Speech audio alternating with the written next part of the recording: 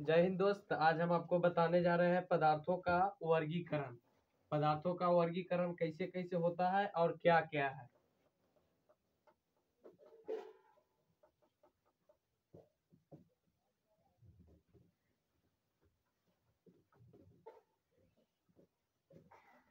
तो सबसे पहले हम आपको बता देना चाहते हैं कि पदार्थ जो है, इसे अवस्था के आधार पर तीन वर्ग में बटा हुआ है मतलब तीन प्रकार के होता है।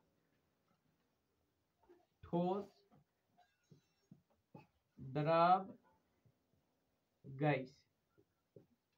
पदार्थ जो है अवस्था के आधार पर तीन प्रकार के होता है, ठोस, द्रव और गैस। ठोस हम उसे कहते हैं जिसकी आकार और आयतन दोनों निश्चित होता है, उसे हम ठोस कहते हैं। और द्रव कहते हैं जिसको आकार अनिश्चित और आयतन निश्चित होता है, उसे हम द्रव कहते हैं। और गैस जिसको आकार और आयतन दोनों अनिश्चित होता है, उसे हम गैस कहते हैं।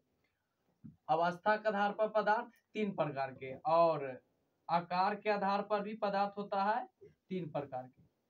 तत्व यौगिक मिश्रण। तत्व यौगिक मिश्रण।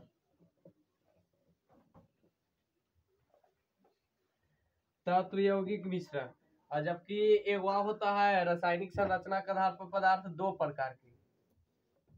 शुद्ध पदार्थ और अशुद्ध पदार्थ। शुद्ध है और अशुद्ध।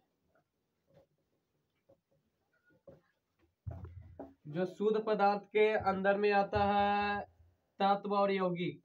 शुद्ध पदार्थ के, शुद्ध पदार्थ मतलब दो भाग में होता है, तत्व और यौगिक। और अशुद्ध पदार्थ भी दो भाग में होता है, समांग मिश्रण और विसमांग मिश्रण। समांग और विसमांग। जो तत्व के हाइड्रोजन हो गया, तत्व helium oxygen argon krypton neon इसे सब तत्व हो जाता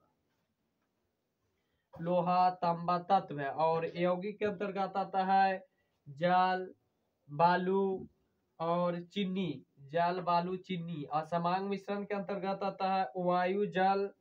वायु जल में नमक का विलयन। वायु जल में नमक का विलयन और विषमांग मिश्रण में आता है कागज़ और कुहासा। कागज़ और कुहासा जो आपको विषमांग मिश्रण हो गया।